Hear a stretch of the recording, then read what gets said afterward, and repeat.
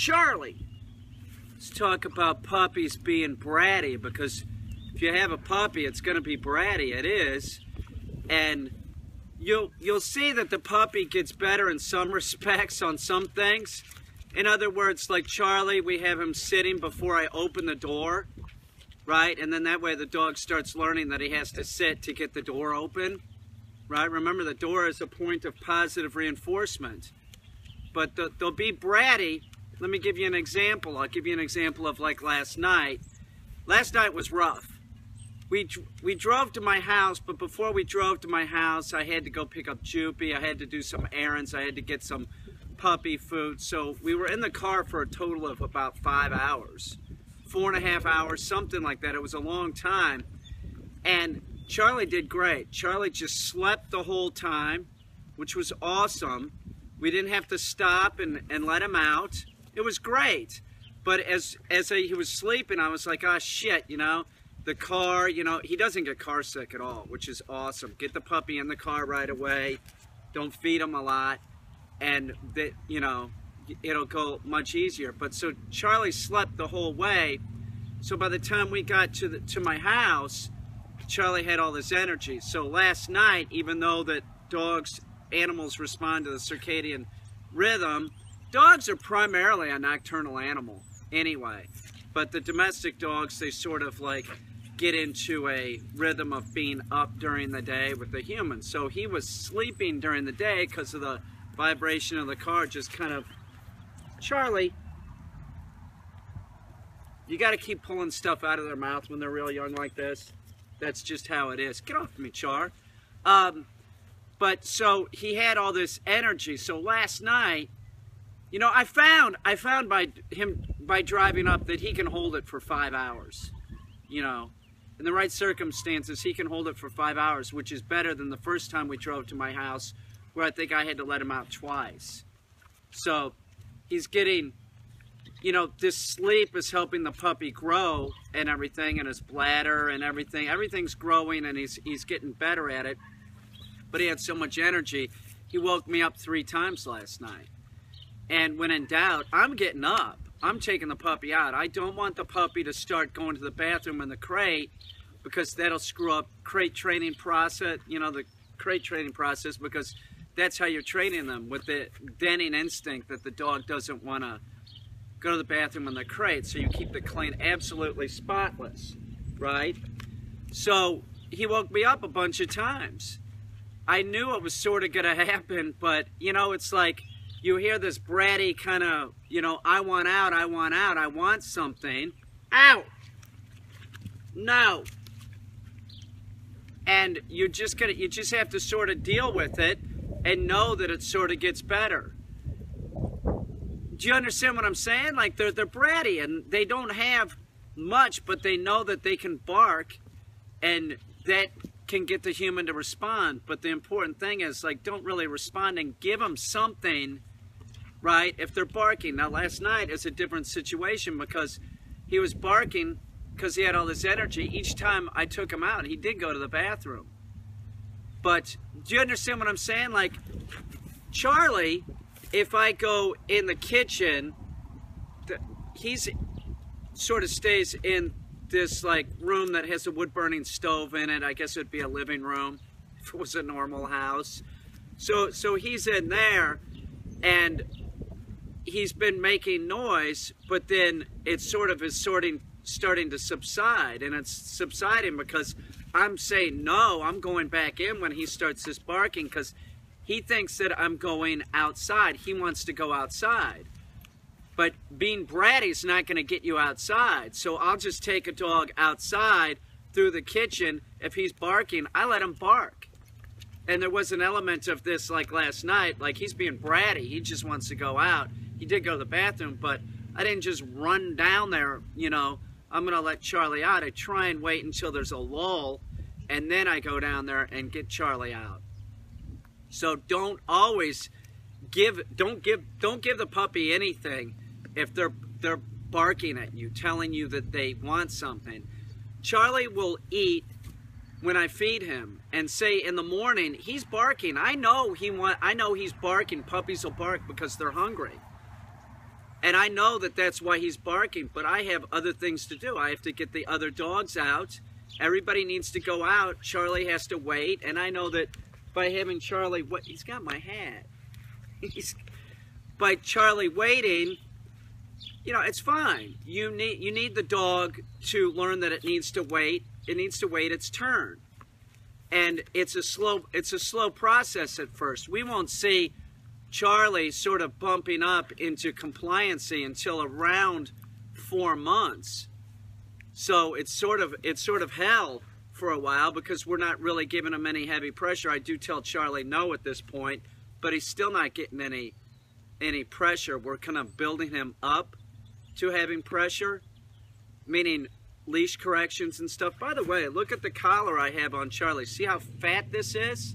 He had a, he, had a leather collar on, but watch the leather collars. They'll work at first, but then when they start stretching, take that collar off and put on something real wide like this. See, see this is very wide. And the reason why is you don't want the dog to have pressure on their trachea because if they start going then you you know it's going to get worse as the dog lunges forward and puppies like this tonka you know they lunge forward. It's they're not going to be at heel. You're just trying to like ride the puppy wave you know? So they'll, they'll lunge out. They're not going to stay at heel and they're going to choke themselves. So you flip you if you have a leather collar on and it starts stretching it's going to get thinner put on something like this. This is a kind of hard plastic collar and you if you use something like this you're not going to get that choking effect because it takes a big wide area on the dog's neck so it's not putting pressure in a small area. I hope that makes sense. With puppies use a really wide collar. Leather works pretty good but if the leather starts stretching it's going to get thinner. So switch it in. If you can just start off by using a wider plastic collar that's probably your best bet. Don't buy those nylon collars, those are the worst. The little puppy collars, that'll make your dog choke or make that choking sound. And don't, don't use harnesses. Harnesses are just gonna tell the puppy that, you know, it can do whatever. And that's not the message that you wanna let, that wanna do. If a dog trainer, a positive reinforcement trainer told you to use a harness because the puppy will start choking, don't listen to him. Get a big fat wide collar like this. Charlie's having no issues with this. He hasn't.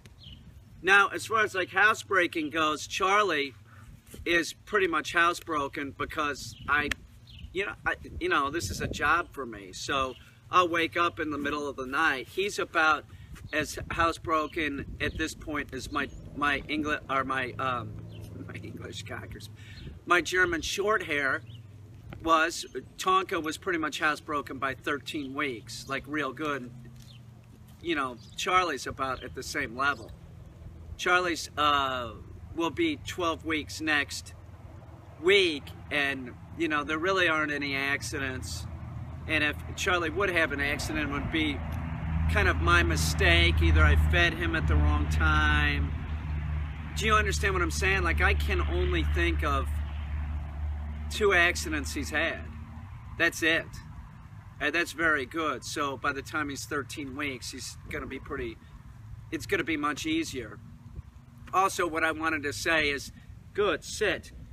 As the dog gets older, you'll get the opportunity to sleep in later, and I can't wait. And seeing Charlie being able to hold it last night, or as we were driving up for five hours, is a good indication that his body you know, he's growing, he's he's learning to hold it, and it is a lot of muscle memory.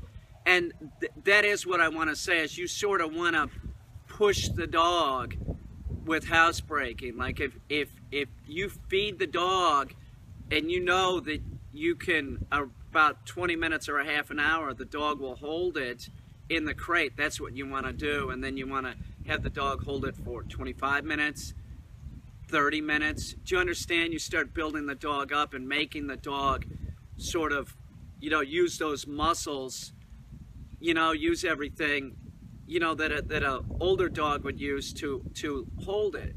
So you just sort of build the dog up to housebreaking, crate training. You build the dog up to pressure when we're going to start pressure training the dog.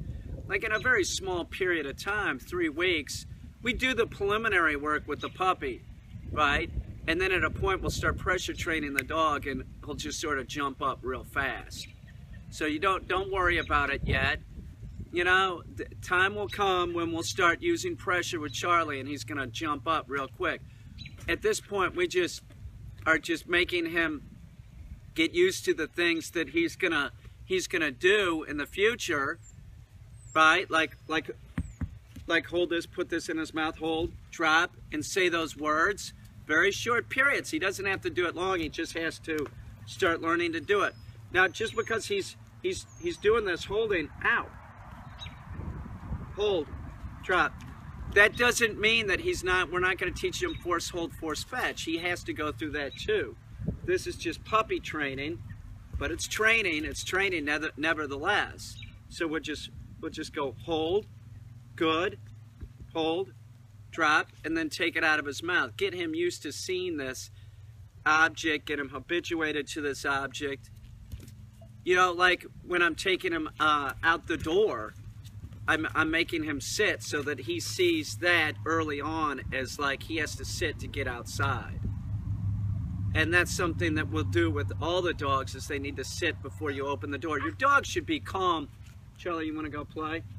Here, get down there. You're, oh, he's going to grab my hand.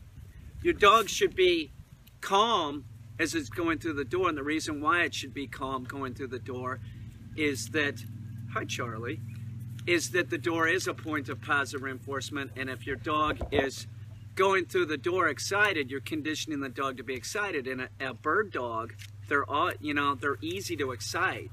So it really is this process of getting the dog calmer you know, because they're a they're they're a bundle of energy. They really are, but it does. It gets better over time. You have to watch them. You have to constantly take stuff out of their mouths. It's work. It's work. Don't get a dog unless you're willing to work with the dog. I mean, you can accomplish a lot by passing the dog off to a dog trainer. It's a great way to do it. It really is. But when the dog comes back, you still have to work with the dog. But this gives you the opportunity to make it easier on you to work with the dog, the commands are conditioned in. No will be conditioned in with this dog. No is the word that we use to tell the dog that it's in the improper position or it's doing something wrong. Stop what you're doing, dog. You're doing it wrong. That's why this whole positive reinforcement training is just a is just a joke. We have 4 million dogs dying every year and we have a army of these people telling people that this is the proper humane way to train the dog. It's not. You have to you have to teach your dog no. Charlie has to learn no. All dogs need to learn no, and it's unrealistic to think that your dog is going to function not ever, you know, you not ever say no or being giving the dog a negative. These people they won't even work with aggressive dogs. They won't they have size limitations on dogs. It's they love working with puppies which really stinks.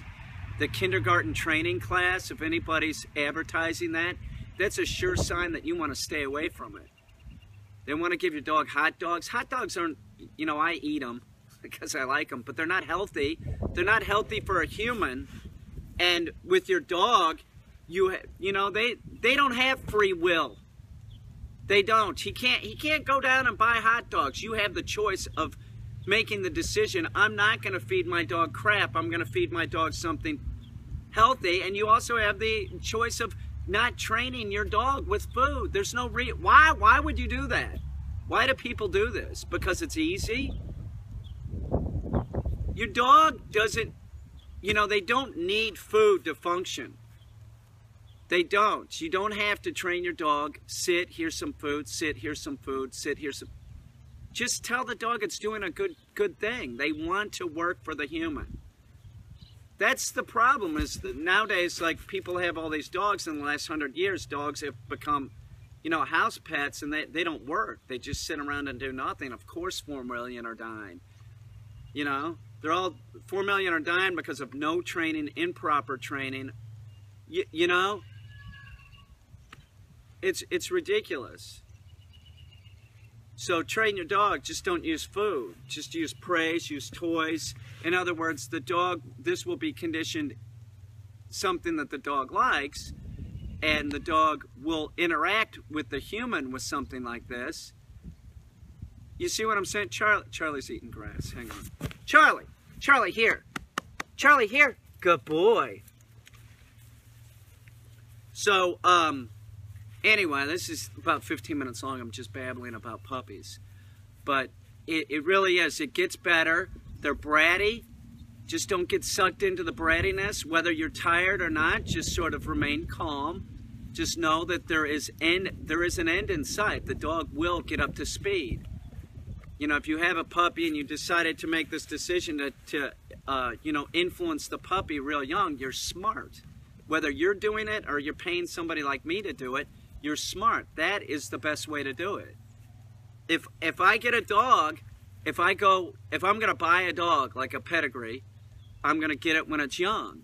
I want the dog to be influenced real young. I'm not saying that you can't go to the shelter if you just want a house dog. You you can get a 2-year-old dog, you can get a 5-year-old dog, you can get a 6-year-old dog and train it. All dogs are trainable. This notion that the uh, you know, you can't train an old dog new tricks. It's bullshit. It is, man. I've, I trained a eight-year-old Weimaraner to pick up a cane and pick up keys. You know, you can, you can, I've trained many older dogs to do retrieving. It might take a little bit longer, but they can learn it. They can. They can all sort of learn this. Charlie, you're cute. Come here, you little freak. Look at this guy. He's like a little monkey. It's like a monkey! Look at his tail. Look at him, he's a spaz. He's a monkey. Look at him. That is a cute dog. Caine, I hate Trump. He's going to jail, Caine. Charlie likes to talk about Trump a lot. You know, I sort of agree with him about Trump. I, I think that that hearing or reading the thing in the Guardian the other day, it's it's obvious that other, you know, GCHQ, they knew that shit was going on. The Dutch knew. Um, you know, people in Poland knew that, that, that Trump Trump's people were meeting Russian spies. I think he's going to jail. Oh, Charlie has something has something else to say. He's a, I just wanted to say I think he's a fucking dick, and I'm gonna move to Canada. I'm going to Canada. They got free health care up there. I get free veterinary care. That's why I'm going to Canada. That's where my dad lives, Canada. Charlie. Oh, good. Good PP. Good boy. You're a good dog, dude. Charlie, come here. Charlie, up. Up. Sit. Hold. Good. Drop. That's good. Here. That's good. Charlie, you're a maniac. Charlie. Charlie, up. Sit. Hold. Up. Do it again. Charlie. Charlie, up. Sit. Hold. Drop. No, drop, you little gator. Sit. Sit. Here. Charlie. Charlie. Yeah, fucking Charlie. Charlie, up. Sit. That's good, brother. Sit. Good boy. Ah, no, not with the teeth, dude. Come here. Sit. That's pretty good, dude. You're getting it. You're cute. Sit. No. Sit. No. Here. Charlie. Charlie, up. No, up. That's good. Sit. Here. One more time, Char. Charlie, up. Sit. Good. Hold. Good. Drop. That's it. This session with Charlie lasted about a minute. We just wanted him to get up. See how he's biting at my pants? He's a puppy. Try and limit it. But we got him to do it, which is just get up on the platform and sit. We're getting him used to getting on the platform and sitting. This, this platform, or maybe not this one, but it might be something else, is going to be used to teach the dog to spin and to heel We use it for a lot of things, so we sort of combine stuff. So he's learning to get up on the target and he's learning to sit. We'll start tightening everything up as we go. We don't care if he's sitting in the appropriate position. We just worry at first about him sitting his ass on the ground. Doesn't really, it's not really that important how long he's sitting. But if he's sitting, we're going to release him before he, he sits up. And that's very important. Sit. Good. Sit. Do you understand what I'm saying? Like, it's better to not correct the dog right now. It's better just to let the their body start functioning. It's a lot of muscle memory. And let's have Charlie do it one more time because he's awesome. He is awesome. Heel. I rate this dog, my this dog gets my highest rating of super fun. Charlie, Charlie, up. Sit. Good. Now I see he's sitting the right way and everything. Sit, hold. Drop. No, drop, you little gator. Oh, look, he's an alligator. He's a, he's a Malinois. Here, up. Do it again, dude. That's awesome. Charlie, up. No, Charlie. Charlie, come here. Sit. Sit. Good. Hold. Hold. Drop.